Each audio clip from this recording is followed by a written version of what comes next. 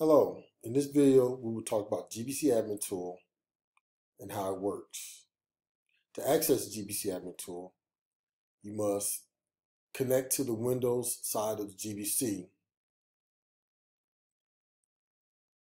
On the Windows side of the GBC, on the desktop, double click GBC Admin Tool. Once the GBC Admin Tool comes up, click Go to start scanning the network.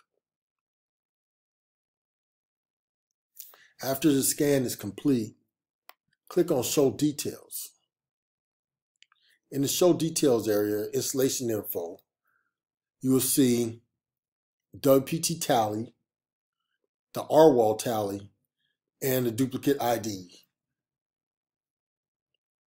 To the right of that is the Help slash Details button that will give you more information about each of those areas.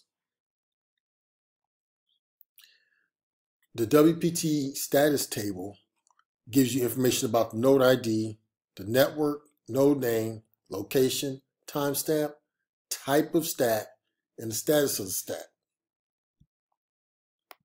Once you're done, please check the boxes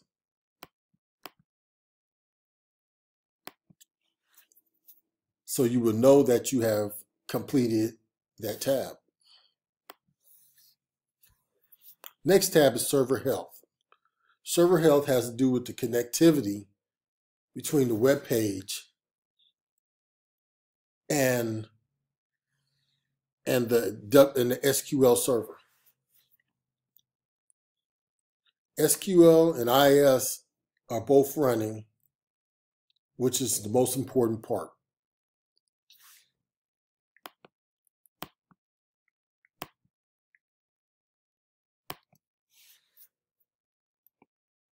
Here, the System Health tab shows the hop count, the failed packet rate, and the WPT per device. And it also gives you the RSSI, which is the signal strength. All that information can be found in the Help and Details information uh, tab right now because there's no connectivity. There is no RSSI links status.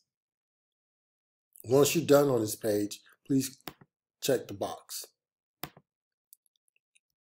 HVAC health, it lets you know what the HVAC health is. Once it connects to it, it gives you uh, the, the GBC does its has its own poll. We have training data that lets us gives us that has an algorithm that gives us information about how the the unit is running. Please click the checkbox before moving on.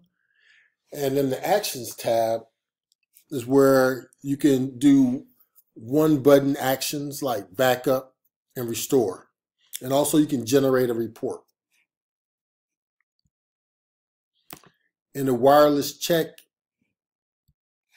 tab, it would tell us the status of the repeaters, and how they're connected. After all that's done, you can hit close and it will let you know that the system is running fine once you're once you've taken care of all the maintenance if there are maintenance to be taken care of.